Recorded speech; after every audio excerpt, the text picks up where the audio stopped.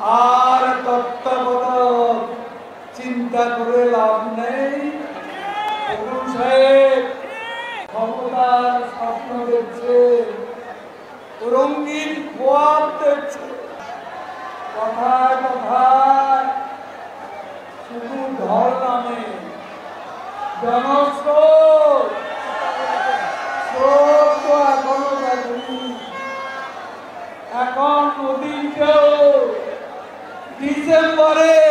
সমুদ্রের গর্জন শুনতে পাবে।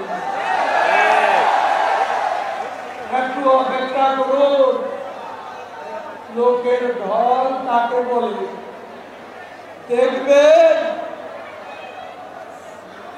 ফকুল সাহেব। তত্ত্বাবধায়ক। বাদ দিবেন। এ ভূত মাথা থেকে নামান এই ভূত বাংলার মানুষ নিষিদ্ধ করেছে। আদালতের উচ্চ আদালত নিষিদ্ধ করেছে। আর তত্ত্বাবধায়ক চিন্তা করে লাভ নেই।